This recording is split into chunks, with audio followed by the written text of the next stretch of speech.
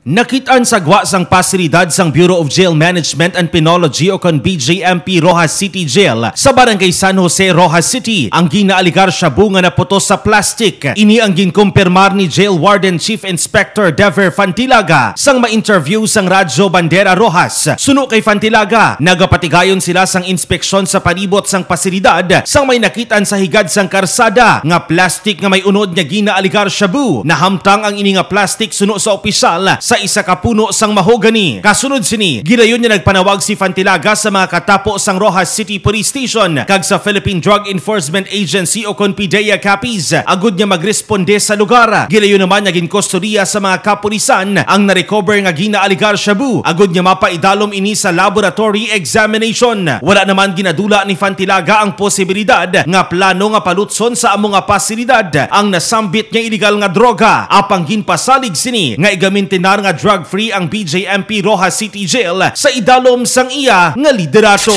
Balita nagikan diri sa probinsya sang Capiz. Ini si kabanderang Joshua Kenneth Anas, nagabandera sa matuod niya serbisyo publiko kag kaningawan sa Western Visayas, Radyo Bandera.